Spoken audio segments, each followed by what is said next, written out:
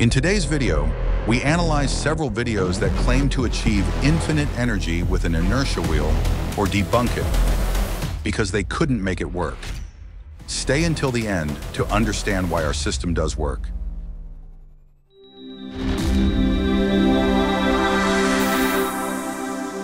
In recent weeks, social media has been buzzing with videos showing machines supposedly capable of generating energy without fuel or external power. These devices claim to operate using energy stored in springs. Today, we'll examine two such systems and explain why they don't deliver as promised, though there are important nuances. At first glance, the result is striking. A disc spins seemingly on its own, powered only by springs, with no visible motor or external energy source. However, closer inspection reveals that the movements don't follow a natural pattern.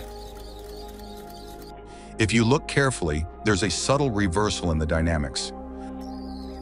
The vibrations and ambient sound suggest the video has been played backward. When played at normal speed, the sound is reversed. But when the video is flipped, the sound is correct, and the machine is simply slowing down.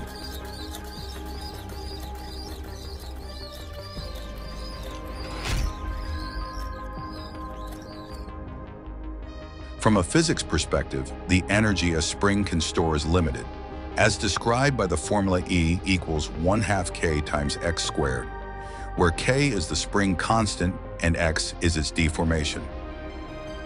Without an additional energy source, the system cannot sustain continuous motion due to losses from friction, sound, and heat. In this case, the creator tries to replicate the previous principle with a different structure. Four springs arranged in an inverted V-shape. The result is that the wheel fails to rotate, and this has a technical explanation. The forces generated by the springs break down into horizontal and vertical components. The horizontal components cancel each other out, and the vertical components add up toward the system's center, but don't contribute to rotation. As a result, the axle is compressed without producing effective torque. According to Newton's second law for rotational systems, this is the formula, where tau is the torque, I is the moment of inertia, and alpha is the angular acceleration. The torque is practically zero. There is not enough leverage to induce rotational motion. Every system that aims to sustain motion must harness forces to perform effective work. And the geometry of the setup prevents the forces from performing effective work. To test whether the initial system could work, we modified our own generator, arranging the springs in a V-shape similar to the original video.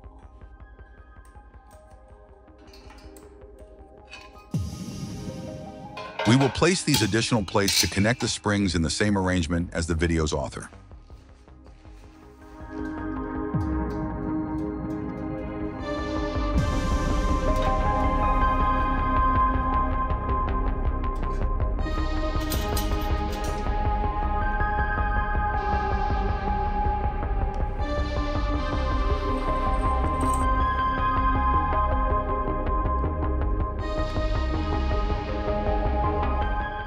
It's ready.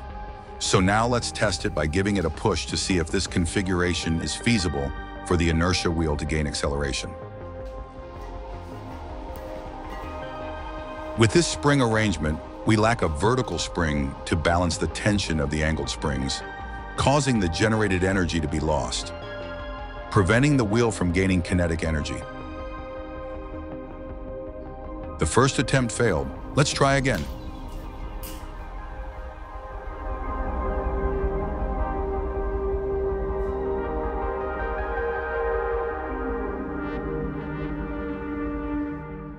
Nothing. The system doesn't work like this. This system cannot function because it only has two support points. It would need a third support point with a spring to provide additional force to balance the system. These springs and connecting rods should be offset at 120 degrees relative to each other to achieve perfect system balance. But does this mean it's impossible for a system based on an inertia wheel to work? Let's find out. From these errors, we formulated a hypothesis.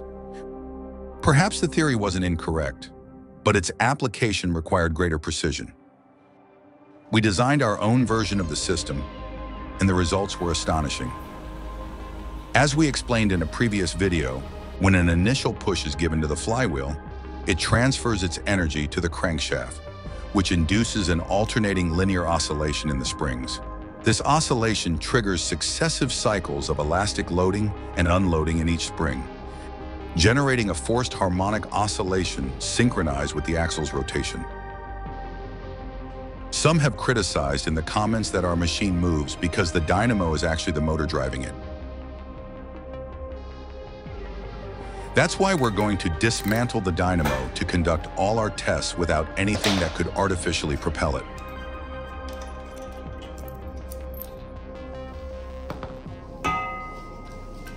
During this process, the potential energy stored in the springs during the compression phase is partially reintegrated into the system as rotational kinetic energy. This is possible thanks to a phenomenon of induced resonance that occurs when the system's oscillation frequency approaches the natural frequency of the springs. We call this phenomenon kinematic resonant coupling, and it can be approximately modeled with an expression inspired by damped spring mass systems coupled to a rotational mass. Here, omega is the system's effective resonant angular frequency, K is the equivalent elastic constant of the combined springs, J is the flywheel's moment of inertia, and B is the system's dynamic damping coefficient. In ideal conditions, when damping is low and the system is tuned to its natural frequency, this coupling enables extremely efficient energy transfer. The result is sustained rotation with minimal apparent mechanical losses. When we give the wheel an initial motion, one of the springs, the one most compressed in this case, this one, begins to release its elastic energy while the opposite spring is storing elastic energy. As it rotates, once the spring has stored that energy, it releases it by contracting, continuing the motion. Thanks to the 90-degree offset between each crankshaft component, this motion remains continuous, driven by four parallel springs paired against another four that continuously store and release energy, sustaining the crankshaft's rotation.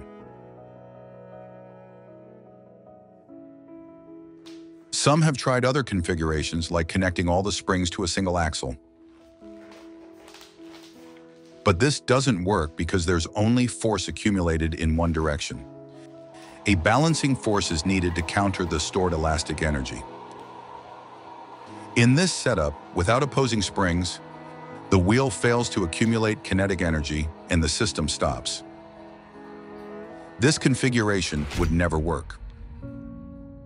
We're going to install a tachometer to measure revolutions per minute.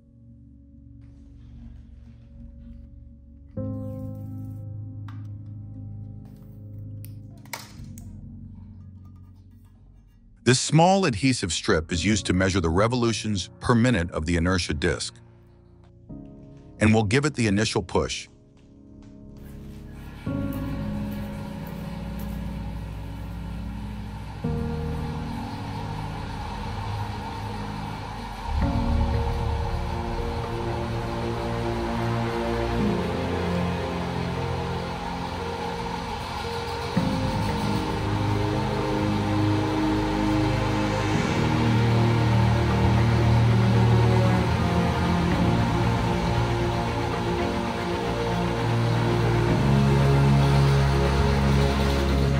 the system accelerates until it reaches a constant maximum speed of nearly 700 RPM. All this is thanks to the formulas we mentioned earlier and the refined design. The system remains in continuous operation. With this, we've demonstrated why our system works and why others are fake or failed to meet the necessary physical principles to function. If you'd like us to analyze similar videos, let us know in the comments. Write down the videos you'd like us to review. And remember to give a like and subscribe if you enjoyed the video. Also, become a member if you'd like to support our videos. Thanks for watching.